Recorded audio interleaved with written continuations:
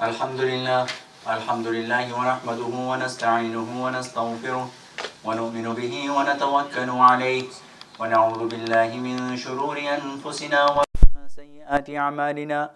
من يهده الله فلا مضل له ومن يضلله فلا هادي له. ونشهد أن لا إله إلا الله وحده وحده لا شريك له. ونشهد أن سيدنا ومولانا محمدا عبده ورسوله. أما بعد فأعوذ بالله من الشيطان الرجيم. بسم الله الرحمن الرحيم. إن الله وملائكته يصلون على النبي. يا أيها الذين آمنوا صلوا عليه وسلموا تسليما. اللهم صل على محمد عبدك ورسولك وصل على المؤمنين والمؤمنات والمسلمين والمسلمات. وبارك وسلم. وقال الله تعالى أعوذ بالله من الشيطان الرجيم. بسم الله الرحمن الرحيم. الرحمن علم القرآن خلق الإنسان علمه البيان. صدق الله العظيم. Dear respected brothers and sisters, I just recited the few ayahs of Surah Ar-Rahman. The surah starts with the name of Allah subhanahu wa ta'ala Ar-Rahman, the most merciful. Allah subhanahu wa ta'ala started this surah with this specific name. He has 99 names. And out of the 99 names, He chose Ar-Rahman to start this surah. Why? There is a reason for it. Ar-Rahman means the one who is most merciful, the one who has mo- most kindness. And when you talk about Ar-Rahman, you are expecting some favors. And everyone knows that in Surah Ar-Rahman, Allah subhanahu wa ta'ala mentions His name as His favors upon the human beings. That this is what I have given you. Among so many different blessings that Allah subhanahu wa ta'ala mentions in the surah, the biggest blessing is given in the first ayah, Ar-Rahman Allam al-Quran. The biggest benefit that Allah subhanahu wa ta'ala has given, the biggest favor that Allah subhanahu wa ta'ala has made is Allam al-Quran, that He taught the Quran. Khalaq al-insan, and then He created the insan. So this is the biggest favor, teaching of the Quran. In other words, Allah subhanahu wa ta'ala is trying to say that I created insan so that I can teach him the Quran. In other words, the main purpose of the creation of human beings is so that they can learn the Quran. You see? This is why Allah subhanahu wa ta'ala says that as the biggest favor. And if we think into this ayah, if we think about this ayah, we see that Allah subhanahu wa ta'ala changes the order. He says, Allam al Quran, then he says, Khalaq al insan, then I created the man. But if you look at if you look at the practical order, Allah created the insan first and then He taught them the Quran. Right? So why did Allah subhanahu wa ta'ala change the order? And order is very important in the Quran because this is the kalam of Allah subhanahu wa ta'ala. This is who is very wise, who is hakim. So his kalam does not have any any shortcomings. So if Allah subhanahu wa ta'ala has changed the order, there is a reason behind it. That He said Allam al Quran first and then He said Khalaq al Insan. But in practically, He created the insan and then He taught them the Quran. This is to show that the purpose of the creation of the insan is teaching them the Quran. That's why Allah subhanahu wa ta'ala changed the order. And we do the same thing in our daily lives. For example, I want to get the medicine, right? If I have to take the medicine, I, I would say, I need medicine, so I need to go to the pharmacy. But when I practically do it, I go to the pharmacy first and then I get the medicine, right?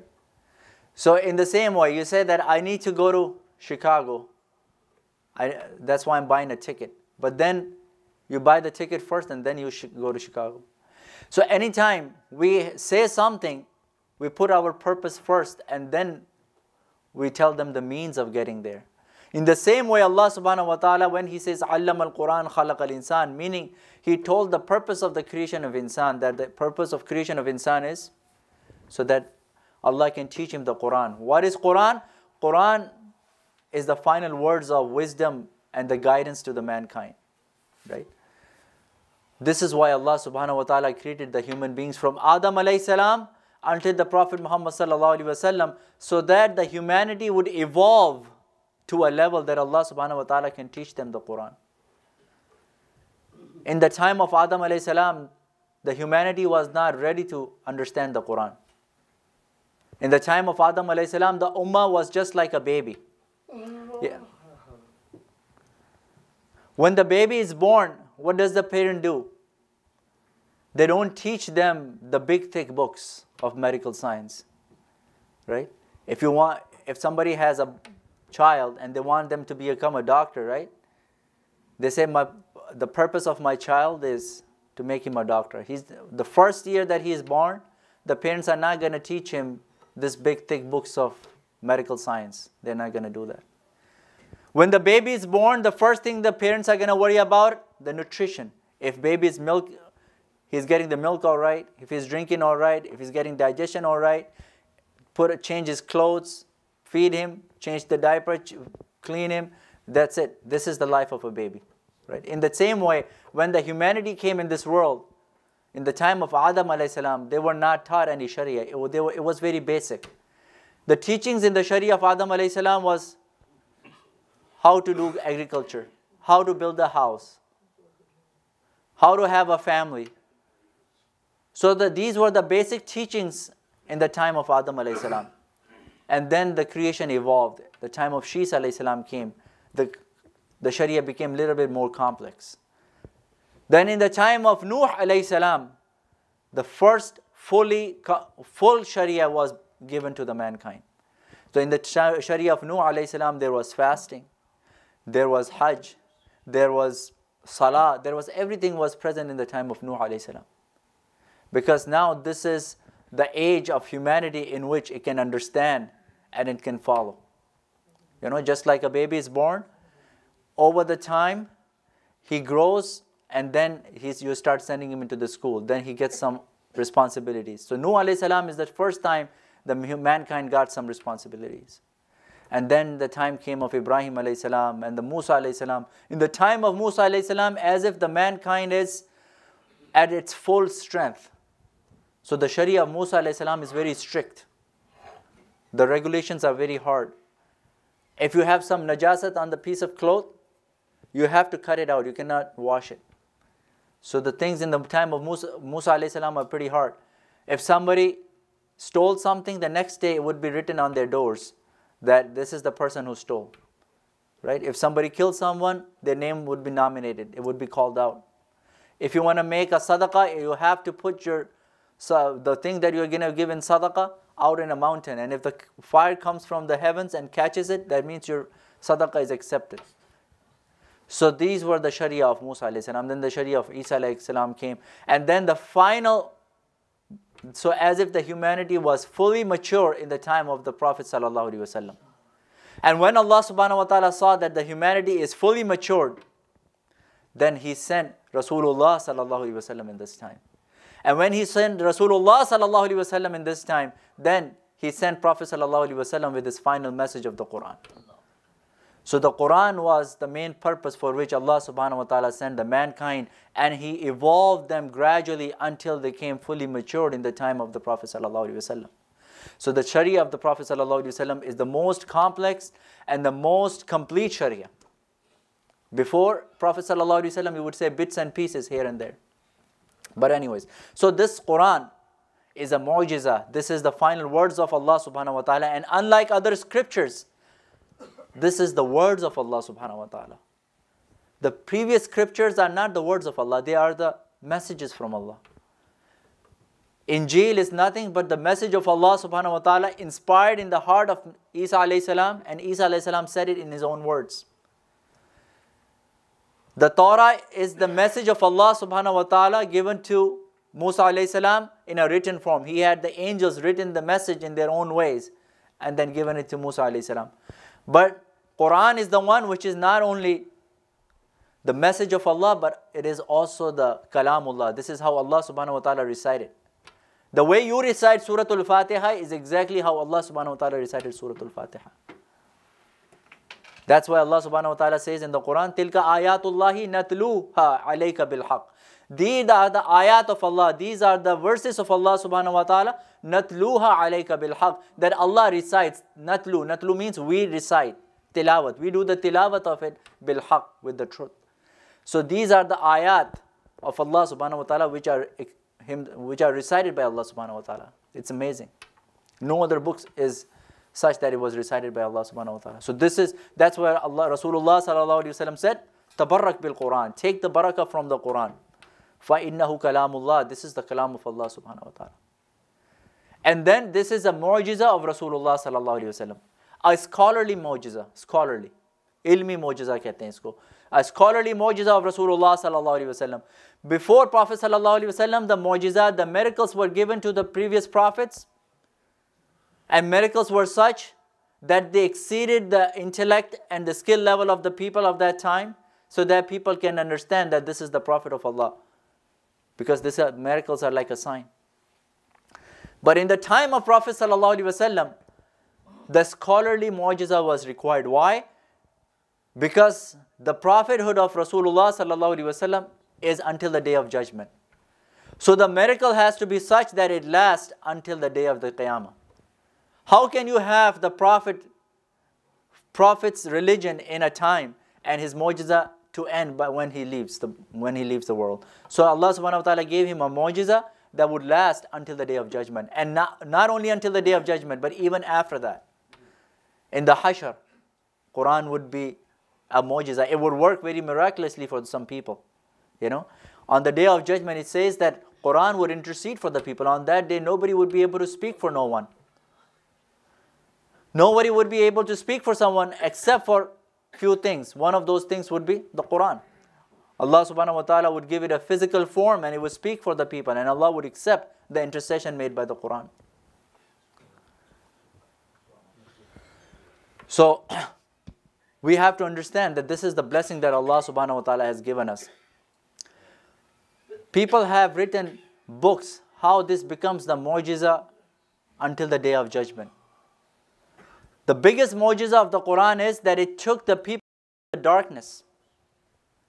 When there was darkness of evil, right? People used to bury their girls alive. They used to kill each other for no reason. They used to fight for years and years. They used to blood, shed blood for hundreds of years for little things. The Quran was revealed as a sunlight. Quran came as a guidance and it enlightened the people and took them out of that darkness. Right? So this is the mu'jiza of Quran. At that time, there was no other thing that could guide them except for the Quran. So this was the biggest mu'jiza.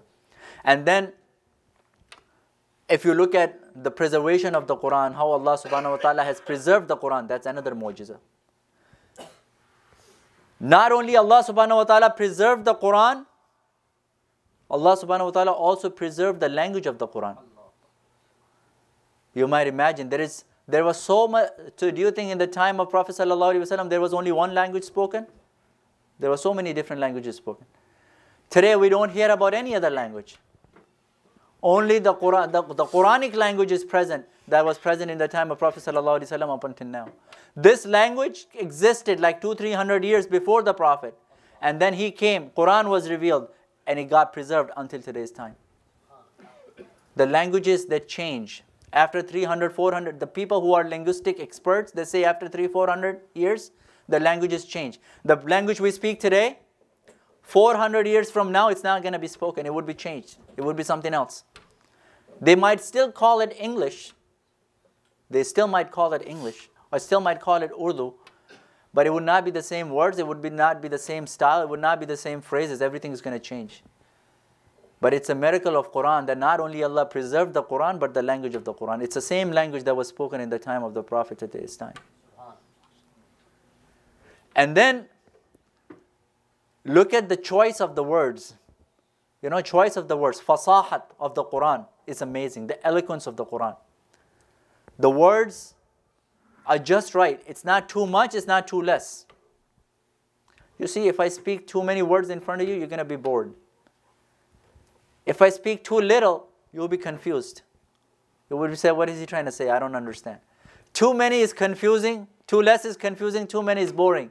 But the words of the Quran is just right. So eloquent, so beautifully said that you cannot have any more or any less. It's just perfect. The choice of the word is amazing.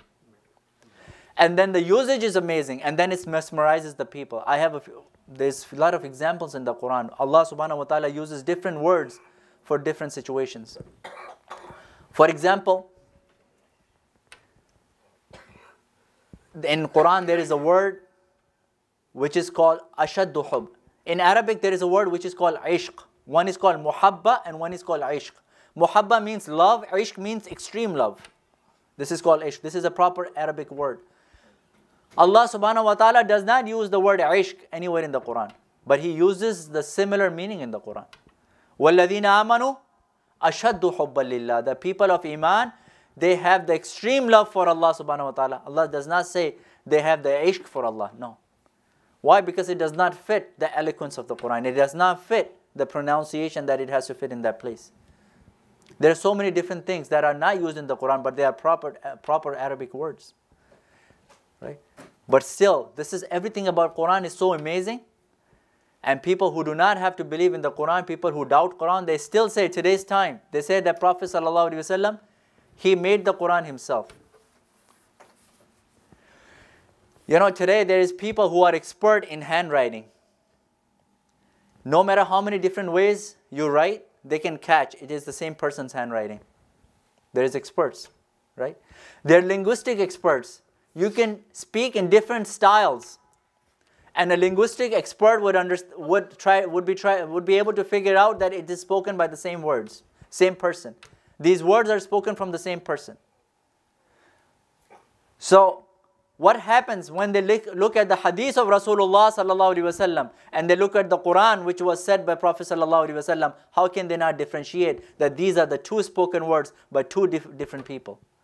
One is from Allah subhanahu wa ta'ala and one is from the divine being which is Allah subhanahu wa ta'ala. Right? You can see, you see Rasulullah sallallahu alaihi wasallam was afsahul kalam. His words were also very eloquent. But still, the eloquence of Quran far exceeds the eloquence of the hadith. The beauty of the word that is in the Quran far exceeds the beauty of the word which is present in the, in the words of Rasulullah sallallahu alaihi wasallam. So how can a person say, even today's linguistic experts can figure out easily, the Quran is Quran, Hadith is Hadith. These are the two different words but spoken by two, two different individuals. It's not possible. And also Allah subhanahu wa ta'ala says that if you doubt that this is from Allah, it's not from Allah and it is not it is something that Muhammad wrote by himself, then make a Quran like this. It's an open challenge. Those times people were very expert in language. A nine-year-old can read poetry of 90 lines. Right? So Rasulullah sallallahu if he's writing it, then you can write it better. But no one was able to write a Quran like this. Actually, people tried, like people like Abu Jahl, they tried writing the Quran. They wrote Suratul Fil, right? Alam tara kayfa fa'ala rabbuka bi ashabil fil. When this surah was revealed, he started writing a surah too. He said, Al filu mal fil. Elephant, what is the elephant? Wama adraka mal fil. And what do you know what is an elephant? Lahu khurtumun tawil wa dhanbun wabil. It has a long trunk and it has a tiny little tail. Everybody started laughing. Abu Jahl, what did you make? You think you are going to compare this with the Quran? Quran is the words of the Wahi. And they give you something important information. And you get, your, your surah that you made is giving information about an elephant. It talks about something new that people never knew. And you're talking about an elephant that everybody knows about it? What type of surah is this? So even if people tried, they could not make it. So this is the Quran. Right? And you know, the the wonders of the Quran, they're never going to end. Not only in the time of Rasulullah sallallahu alaihi wasallam, but later on. Everybody, if you have visited Egypt, today they tell, show you the body of the Pharaoh. They have the mummy of the Pharaoh preserved. Why? And Allah subhanahu wa ta'ala says, وَنُنَجِّيكَ بِبَدَنِكَ Allah subhanahu wa ta'ala says in the Quran that today we're going to protect. We're going to protect your body. It's not going to be taken up. It's not going to be decomposed. Right? Allah said that we will save وَنُنَجِّيكَ بِبَدَنِكَ Your badan, your body would be preserved. In the time, in the early times, people could not find the body of Pharaoh. It was buried somewhere down below, who knows? It was in pretty good depth. Later on, so many hundreds of years later on, people dug and they found the bodies of the Firaun. Why? Because they knew there is something in it. Allah says that we have preserved the body of Firaun, so where is it? It was not found in the time of Rasulullah sallallahu It was not found in the time of Sahaba. It was found many, many hundreds years after. Right? But people had trust in Quran that if Allah said we have preserved it, it means it is preserved. Right? So many things were given in the Quran, so many news were given in the Quran, glad tidings were given in the Quran. This is what's going to happen. غُلِبَتِ Rum. You know, the Rome, the Rome, the Romans would be conquered. That was a superpower. Nobody believed. But later on, it happened that the Romans were conquered. So these are some of the wonders of the Quran. That's why Rasulullah said, this is la tanqidu ajaibuhu. Quran is something that his ajaibat, his wonders are never going to finish. Even to today's find, it mesmerizes the people, right? You look at the rationality of the Quran. If there is philosophers, if people think that we have advanced in the science, we have advanced in the philosophy, then the philosophy of the Quran exceeds the philosophy that is present today even though it's not the book of philosophy, even though it's not the book of science, it is not the book of logic, but it exceeds all that is present today. It exceeds the skills and the education of the people. So that makes you to, it subdues people's mind, make them believe that this is the divine word. This is the word given to Rasulullah sallallahu wasallam. This is the final word of Allah's guidance. So there are many wonders of the Quran, but how good is the wonders if all we know is if all we do is learn about those wonders and listen about these wonders. It's only going to benefit us when we start we start reading it, understanding it, and practicing it. If we are not reading it, somebody can tell me that this is a very good, this apple is very sweet. apple has so many benefits. When is it going to benefit me? When I start eating it myself. So the Quran is like honey. The Quran is full of benefits. When is it going to help me? when I bring it into my lives. Right? And where Rasulullah sallallahu alaihi wasallam and Allah subhanahu wa ta'ala has told us to read the Quran and attach and associate ourselves with the Quran is amazing. Allah does not need anything from us. Allahul Ghani, Allah is Ghani. Wantumul fuqara, and we are the ones who are in need. But still, Allah subhanahu wa ta'ala tells us to read the Quran, associate yourself with the Quran, uh, follow the Quran, etc. etc. As if the mother is feeding the baby in giving the food in his mouth and saying it's good for you, it's going to make you healthy. Just try it, do it. In the same way, Rasulullah is telling so many benefits of the Quran that if you read the Quran, you want to earn. You know, insan, there is, this is haris. This always wants to make an earning. So Rasulullah said, if you are fond of earning, then the, what could be a better earning than the Quran? Even if you look at the worldly earnings, People who have the Quran in their hearts, even in this dunya, they don't suffer. They get a lot of the barakah from, the, from Allah subhanahu wa ta'ala, even in this world, even in this today's time. And the time of Ramadan is coming. Look how valuable the hufaz are going to be. You will not find, even if you try. Right? So th this is the value of hufaz. This is why, because they have the Quran in their hearts. But in terms of the akhirah, Allah subhanahu wa ta'ala says, Rasulullah sallallahu alayhi wa said, the reward for one kalima is 10 rewards. And Rasulullah said, I don't say alif lam mim is one word, but alif is one word, lam is one word, and mim is one word. Rasulullah gave the example of alif lam mim. And who knows the meaning of alif lam mim? No one. Allahu wa Rasuluhu alam. So Rasulullah is promising a huge reward for reciting something that you don't understand. So that means even if you don't understand the Quran, you will be rewarded. By no means I'm encouraging people to not understand the Quran. Of course, you have to understand the Quran. This is the book of wisdom. How good, how much good, goodness it's going to bring in your life if you don't understand, if you don't practice it. But even if you don't understand, you read Quran, it's going to bring barakah in your life.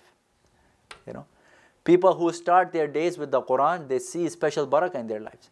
Today we we become lazy. We don't do it. We think too much that how how do I bring Quran in our lives? I have to I have to get some time. I have to set aside some time, 30 minutes, and I'm very busy. And when I have time, now I'm too lazy to get up and make wudu, right? Easy way to start your day is to start your day with the Quran. It's easy. How? You don't have to worry about wudu. You don't have to worry about time. In the morning when you get up, what do you do? Take a shower. When you take a shower, you put on the clean clothes. Now you go ready to go to work. Before you go to work, in this time, your clothes are clean, right? And you are in the state of wudu. Not only in wudu, you have nice ghusl and everything. Hungry because you just did your breakfast. Now, before you step out of the house, how hard it is to pick up the Quran and recite a few lines and put it back in. Maybe you can spare a 30 seconds today. So you open the Quran. أعوذ بالله من الشيطان الرجيم بسم الله الرحمن الرحيم ألف لام ميم ذلك الكتاب لا ريب فيه I saw my watch 30 seconds is up I put it put it back in the shelf leave that's that's it for today easy how hard it is You don't have to go separate from and make wudu you don't have to change your clothes you are in the best attire and best state that is possible tomorrow you're going to spend a minute Maybe the next time you're going to spend five minutes and 10 minutes. Eventually it would become part of you. And the day that you recite, start your day with one ayah recitation, two ayah recitation, you'll see the barakah throughout your day. And you will be like, it's amazing. It has changed my, the way I, I make an earning. You would see the thing happening by, all by itself in your life. People who bring the Quran in their lives, they say, I have heard a few, few people saying, before I used to be too worried about my business. I used to always think about my business. And now that I have started reading the Quran every day, it is as if my business is running all by itself. This is something was somebody, someone was telling me last month. After I recited Quran every day in my life, I see as if my business is running all by itself. I go to the shop, half of the things is already done. I go to my other store, half of the things are already done. And sometimes I have to just make a phone call, rest of the things are, get, are taken care of. I have no stress right now. It's amazing how Quran, the little bit of Quran can bring barakah in your lives. So, and it's, it's, it's not hard, it's not hard. Just wake up in the morning, with the, before you step out of the house, read a few lines of the Quran and leave, and you will see. And the next day would encourage you more. And the time it takes to recite the Quran would be so precious and so I mean, so much uh, attractive to you that the next day you will be waiting for the same moment, that when the same time is going to come and I have to, I will get to open the Quran and read it again. So this is the full of barakah. And at the time of the death, which is the hardest of all the time, when everybody's going to leave, Rasulullah said the Quran is going to be was going to come to this person in the form of a human being, and it's going to accompany him in the qabr when there's no other person to accompany him. It would be the nur in the qabr. And after he's going into the hashar in front of Allah subhanahu wa ta'ala, Quran would be a nur in the hashar. Rasulullah sallallahu wasallam said, Quran is going to intercede for this person and he would not leave him anywhere in his journey until he makes sure that he enters into the Jannah. So this is the Quran. On the day of judgment, it comes in the hadith that the fasting is going to intercede for you. Ya Allah, forgive this person because he stayed hungry and thirsty for me. And then the Quran is going to inter- intercede for the same person and say, Ya Allah, I did not even let him sleep in the night, so you, you, please forgive him. So that Allah would, would forgive this person, enter him to the Jannah. And if somebody is hafiz, he's, he has memorized the Quran, right? Then Allah subhanahu wa ta'ala would have even more gifts for him in the Jannah. Allah would say, Warattil wartaqi. Recite the Quran slowly as you used to recite. People say, you know, how many people in the masjid? Maybe uh, 60, 70 people. Today, I can guarantee you that each one of you can get this blessing. That on the day of judgment, Allah subhanahu wa ta'ala can tell you, each one of you, warattil wartaqi. Recite and rise. You might argue that how can I become a hafiz? I have wasted so many years of my life. You don't have to become hafiz. You have to start. You have to start somewhere, and once you start and you start and you are honestly working towards it, on the day of judgment, Allah would rise you as a hafiz. Right? A person who went for Hajj and he passed away in his journey towards Hajj, he was in the state of Ihram. Rasulullah said that on the day of judgment he would, he would rise in the state of Ihram saying Labbaik. And until the day of judgment, Allah has appointed an angel in his place who's going to make Hajj for him every year.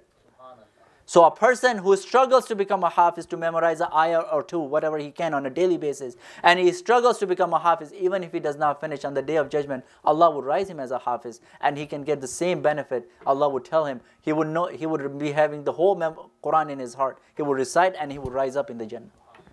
So each one of you can do it. It's all about how seriously you take it. If you take it serious enough, if the day of judgment is serious for you, if the Jannah is important to you, if you want to get those you have to get that respect from Allah subhanahu wa ta'ala and respect in the whole makhluk of Allah subhanahu wa ta'ala. The only thing that can give you that respect is the Quran, nothing else. The Quran, Rasul, Rasulullah sallallahu alayhi wa said, Quran is something that rises the nations in this, in this world, right? So may Allah subhanahu wa ta'ala give us tawfiq to bring the Quran, associate ourselves with the Quran in this world and make the Quran our company in this dunya, in the hereafter, into the Jannah. Wa akhiru da'wana alhamdulillah rabbil.